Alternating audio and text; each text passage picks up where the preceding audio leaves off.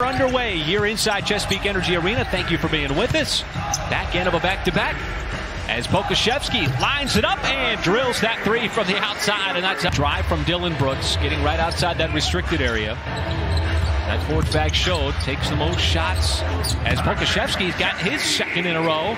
Show the Thunder is just playing smart basketball right now. Great block by Roby. Sets it up on this end as Pokusevski strokes it. Usually if you're gesticulating or operatic or something, but there just wasn't much there. And for Pokusevski on the layup.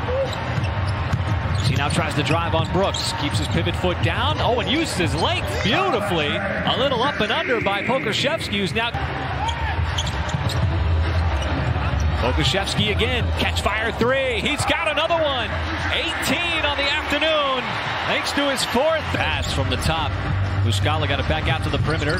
Pokusevski, another nice drive. This one sets it up to the court.